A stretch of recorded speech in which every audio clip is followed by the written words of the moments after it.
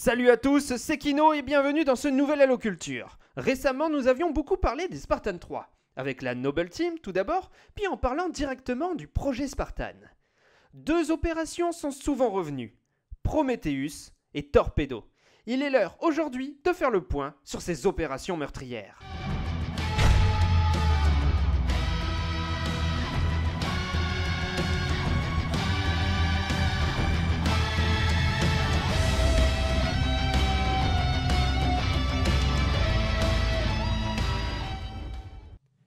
L'opération Prometheus est considérée comme une mission suicide ordonnée par l'ONI. La compagnie Alpha des Spartan 3 fut envoyée sur K749, un astéroïde volcanique ayant servi de chantier naval pour les Covenants. La mission consistait à détruire les 30 réacteurs à plasma en poste pour désactiver le chantier naval et ainsi l'arrêt des agressions des Covenants.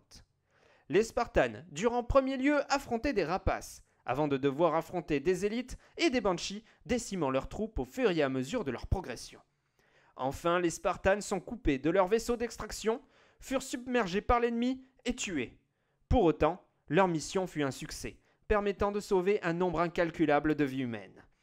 On imagine l'ampleur de cette bataille qui a duré près de six jours entre le 27 juillet et le 2 août 2537 et qui a coûté la vie à près de 1000 soldats au sol, dont les 300 Spartans de la compagnie Alpha, ainsi que 10 croiseurs. Le 3 juillet 2545, la majorité des Spartans 3 de la compagnie Beta périrent pour détruire une raffinerie Covenant sur le monde Pegasus Delta. Pegasus Delta, monde tenu par les Covenants en frontière de l'espace humain, était un gigantesque avant-poste de l'Alliance Covenant, permettant facilement des incursions dans l'espace humain. Sa destruction était donc une priorité pour ralentir la progression de l'ennemi.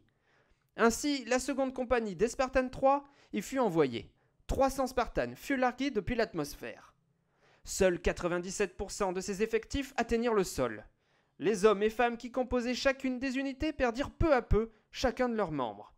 Ils traversèrent des affrontements d'envergure, se faisant décimer par des séraphes, puis par des snipers rapaces. Ils finirent finalement par atteindre leur objectif, mais n'étaient déjà plus que 66% de leur effectif total. De nombreux ennemis gardaient la raffinerie cible, essentiellement des élites et des rapaces, avant d'être rejoints par de nombreux renforts l'opération Torpedo fut malgré tout un succès, ne laissant que deux survivants sur les 300 Spartans envoyés. Tom B292 et Lucie B091. Merci à tous, j'espère que ce Halo Culture vous a plu et que vous avez appris des choses. Vous pouvez retrouver toutes ces informations et bien plus encore sur le Wiki Halo.